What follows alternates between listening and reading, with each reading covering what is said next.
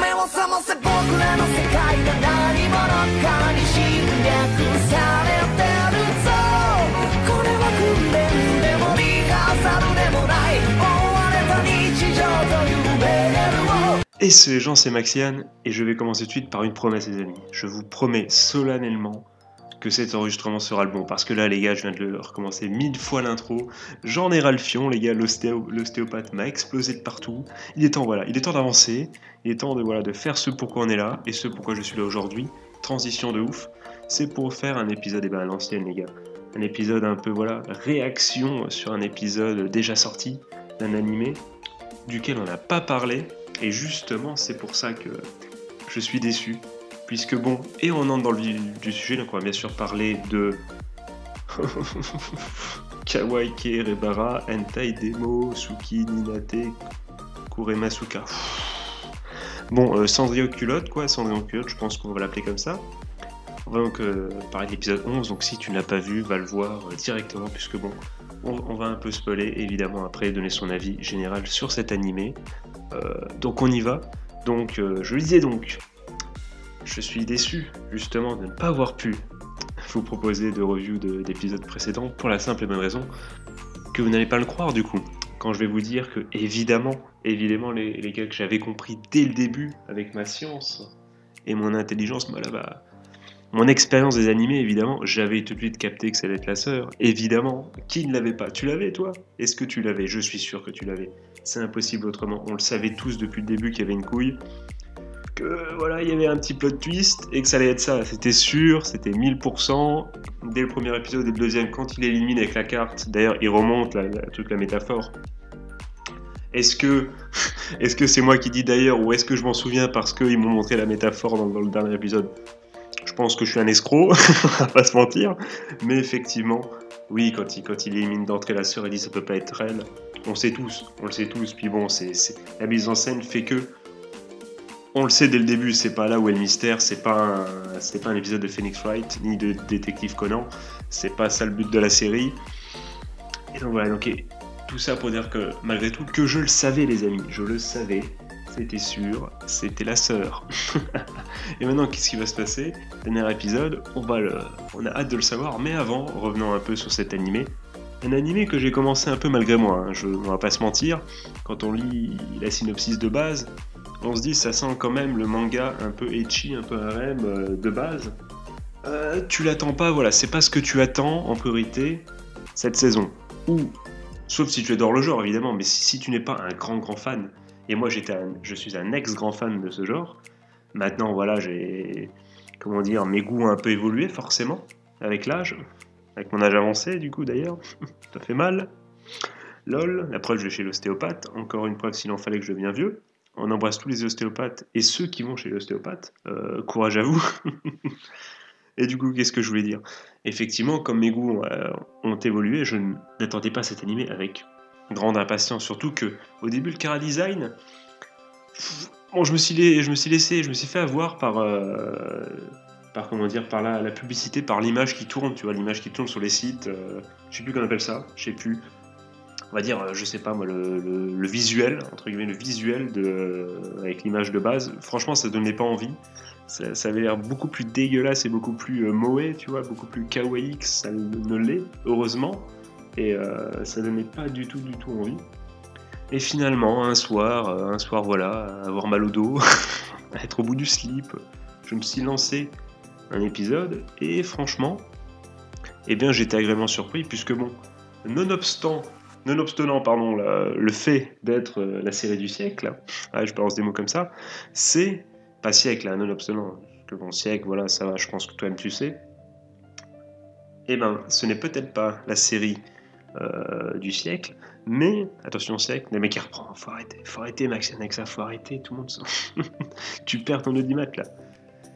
Donc, euh, je disais donc, à défaut d'être un chef-d'œuvre, il y a quelques trucs intéressants dans la série euh, et on va les énumérer un peu. Il y a déjà quelque chose, bah, déjà assez sympathique, c'est que bon, ça va, ça va de façon over the top, mais d'une façon un peu différente de d'habitude.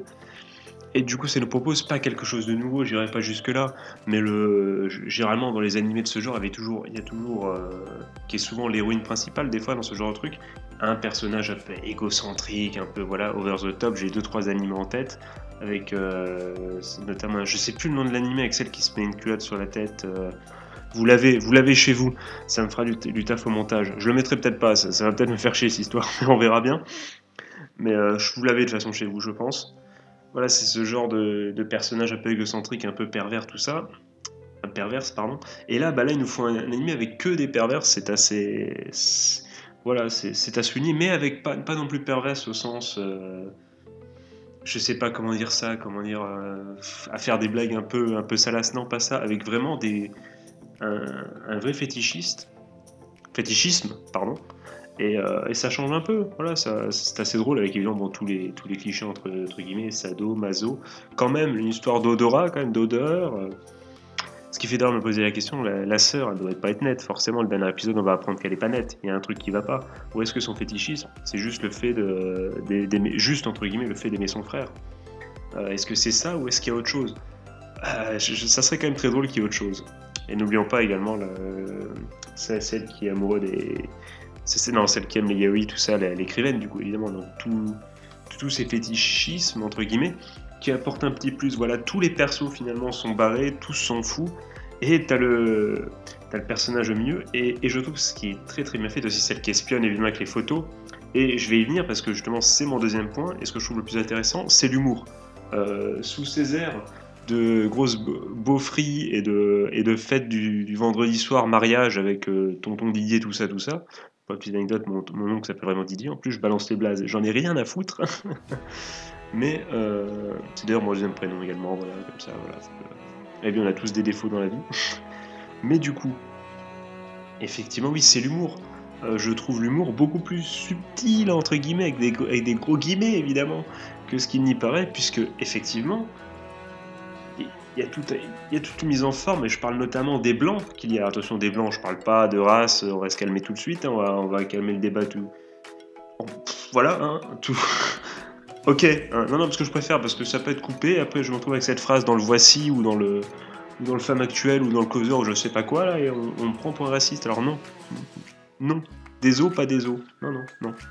Et donc, du coup, qu'est-ce que je voulais dire? Donc, l'art de manier les blancs, n'importe quoi entre chaque vanne. Et bah, je sais pas si vous voyez, à chaque fois qu'il y, a cette scène avec un truc un peu gênant, hop, euh, il y a une des meufs qui dit un truc un peu, euh, un peu, un peu bizarre, hop, petit blanc, petit quelques, quelques centaines de secondes, et bim, le, héros principal, il lance une punchline. Ou, c'est elle après qui en lance une autre, bim, bim, dans la les situations. Et c'est vraiment, je trouve que c'est bien fait, j'ai, rarement vu ça, je l'ai vu évidemment, mais dans les animés, quand même, je trouve que c'est un peu, ça prend son temps et ça balance pas. Ça des vannes de chiasse, des vannes de. on va pas se mentir, des vannes de, de cul, ça vole pas très haut, j'ai envie de dire. Bon, en même temps, tu viens pour ça, de base.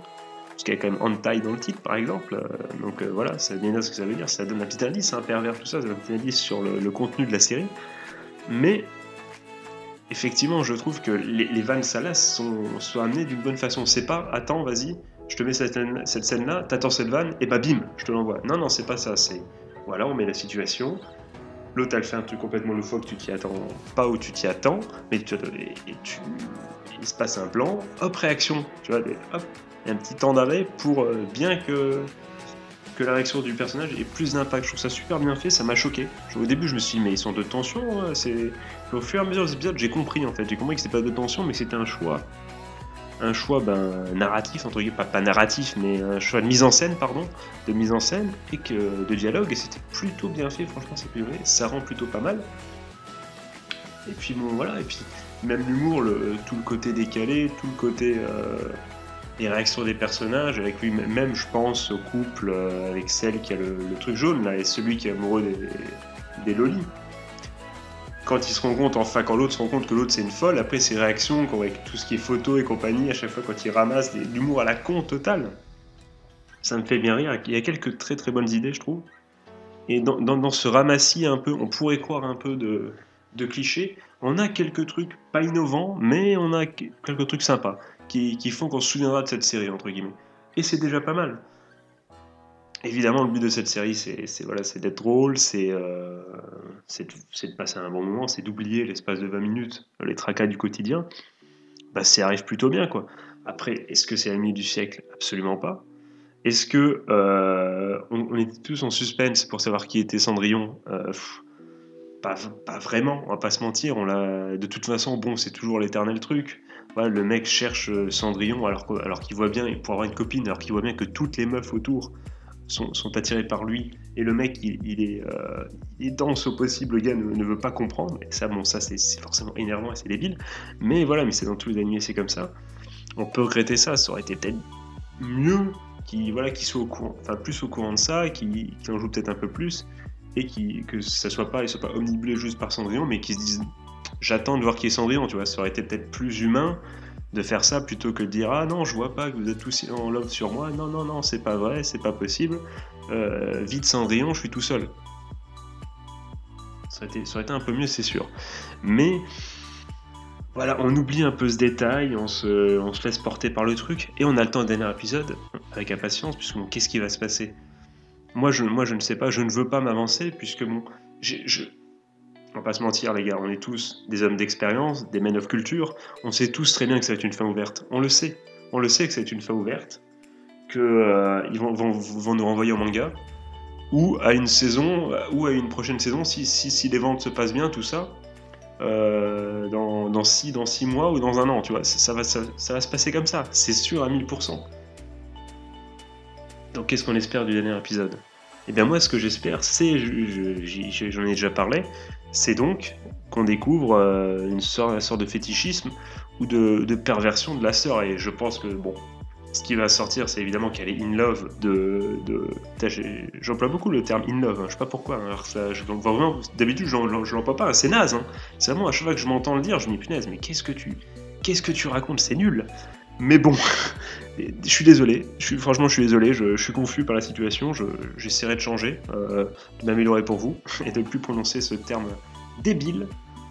Mais en tout cas oui, ce qui serait intéressant, ça serait vraiment que ça soit aussi over the top, et que qu'elle reprenne un peu, non justement, qui se serve du cliché de la petite sœur qui est totalement à, donf sur, euh, sur, euh, sur le grand frère, mais, mais vraiment over the top, vraiment, euh, mais d'une autre façon. Je sais pas comment dire ça, mais vous, vous le voyez le personnage de la petite sœur dans tous les animés, celle qui est euh, amoureuse, un peu timide, et bah non, qu'elle rentre dedans, qu'elle soit totalement perverse, qu'elle euh, qu'elle envoie du lourd, lourd, boum, boum, sans le côté vraiment timide, non, vraiment que ça soit, ça devienne une folle totale.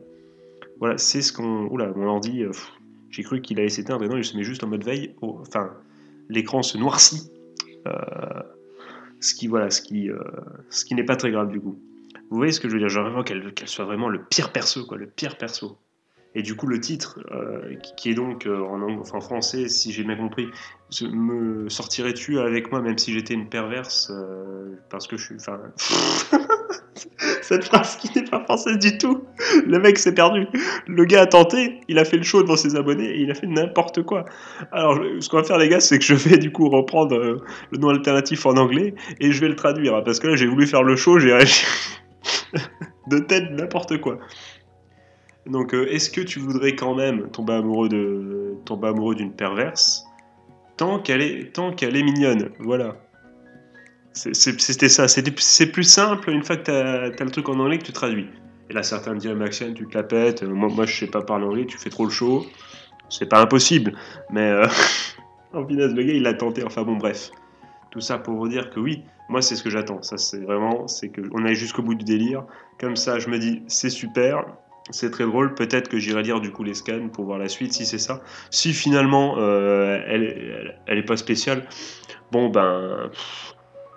s'il y a une saison 2 un jour, euh, voilà, pourquoi pas continuer, mais sinon, euh, là on arrive au bout. Là il nous faut un euh, plot twist, entre guillemets, qui, me- qui nous donne envie de continuer, sinon c'est pas la peine. Sinon, euh, sinon ce sera, sera juste une, sa- une saison qui nous a passé, voilà, qui nous aura aidé pardon, à passer la rentrée, à sourire, et ce serait déjà très bien.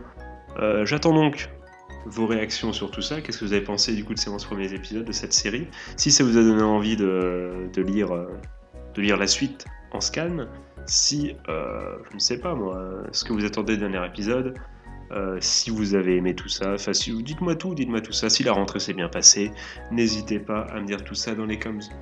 Moi, sur ce, je vais m'arrêter là. On va se retrouver très très vite. Il y a bientôt un nouveau concept qui va arriver, sachant que la semaine prochaine, l'année prochaine, voilà, la semaine prochaine, j'ai euh, bah, pas un studio, mais j'ai euh, la possibilité d'avoir un endroit où je peux tourner tout le temps.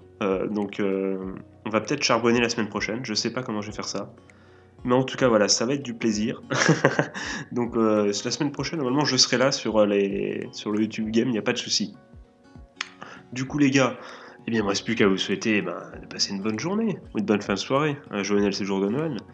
Puis de vous porter, vous porter bien, tout simplement. La santé, c'est important. Soignez-vous si, voilà, si vous avez besoin de vous soigner. Prenez votre temps. Euh, c'est ça le plus important et euh, bah, continuer de kiffer la vie avec euh, quelques animés voilà, à base de culottes. Allez, les, culottes c'est la vie, tout simplement, j'ai envie de dire. Allez, sur cette belle parole, les amis, bonne journée à vous, des bisous, tchuss